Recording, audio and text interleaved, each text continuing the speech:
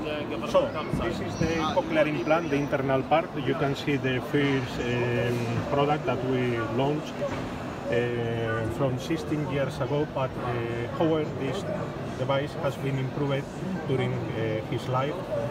Uh, this is the, the, the implant with the standard one electrode. This is the, the same implant with uh, the new kind of electrodes that you can see at that picture on the. Uh, the standard one is the right uh, side, right hand side, and the rest of the electrodes uh, means thin, short, thin, medium, thin, long has been reduced the, the diameter just to improve the, the quality of the electrode array.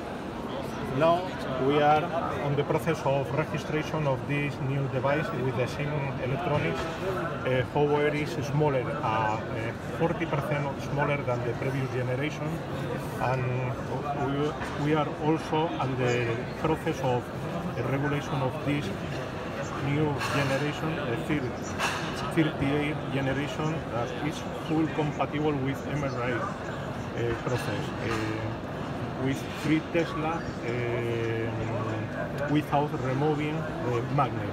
This is a own technology developed by Nurotron. Okay, so this is the internal part, and now we will move to the external uh, components that we have.